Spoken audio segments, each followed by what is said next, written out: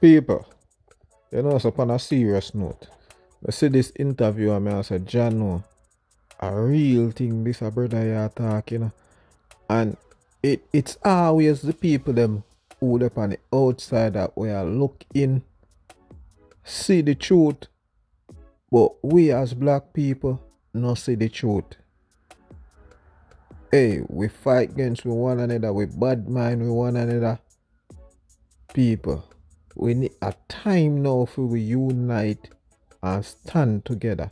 People, you know, I say white people are killed. They one another like how black people do, you know. You know, see Chinese, no other nation, you know, see, I kill them one another like all black people kill them one another. Jaja.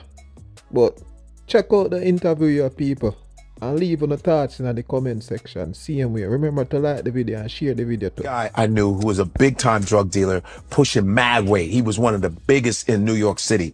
And, and he was telling us, no, I ain't, I ain't afraid of shit. I ain't afraid of nothing. He goes, but I went to China to do, make this deal with the, the, the mafia over mm-hmm. there, the triads and shit. Yeah. And he goes, I'm talking to these dudes. And he goes, I ain't never been afraid of shit. But when I got into their, to their like headquarters. There, yeah. They were so organized. It was scaring the shit out of me. They were so calm and so organized. They were sharp.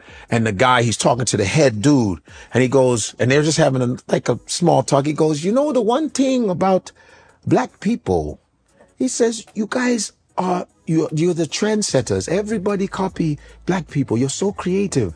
Your music, your style, everybody like black people. We jealous of you. But the one thing you don't have is unity.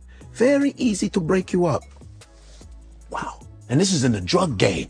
He says we don't. He ain't though. He says we can't even organize crime. wow. We can't even organize crime. Everybody got uh, mafia, Italian, right? There's uh, supposed gay mafia, Russian mafia. We got Irish mafia, and black folks can't even organize crime.